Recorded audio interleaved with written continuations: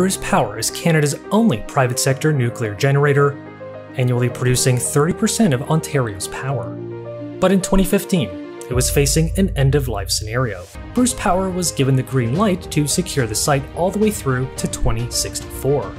And that's when the real work began, says Jay Hitchcock, Director of the Digital Transformation Office at Bruce Power.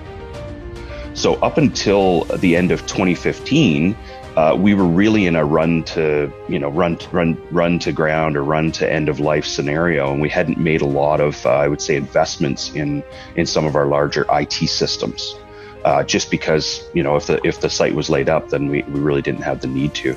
So what really started everything was our our digital transformation was our move for our enterprise asset management system.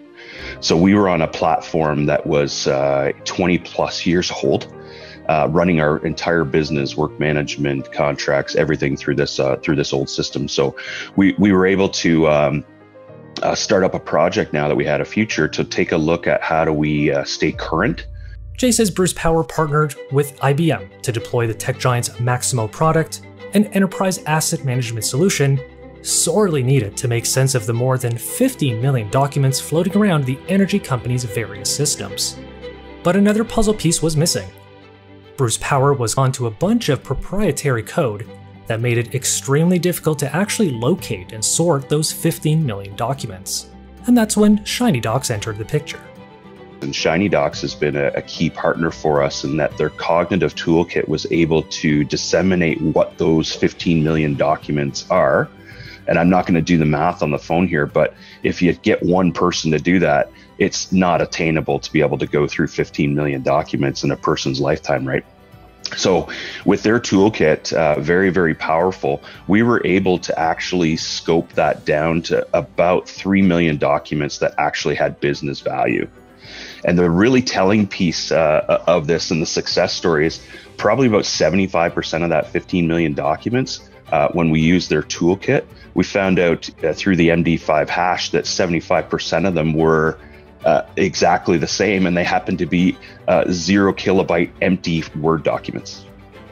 So the old system, when you hit a certain button to put some notes into it, it automatically created a document.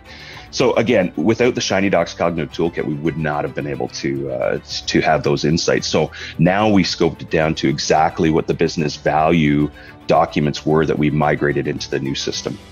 The digital transformation efforts at Bruce Power, according to Jay, has caught the attention of several other companies desperately searching for a way to make sense of the treasure trove of data they have stored. So, on behalf of Bruce Power, uh, we couldn't be more honored to to, to accept this award and, and be recognized on, on the stage. So, uh, operating to supply uh, 30% of Ontario's power uh, the, the, digital transformation and IT efforts uh, obviously uh, don't necessarily ring true with what we're what we do as far as an organization and how we support uh, support the province. So to be able to be recognized for this is is truly an honor, and and it brings us. Uh, uh, so, some credibility in, in the work that we're doing in digital transformation. So, yeah, like I said, on behalf of Bruce Power, thank you so much.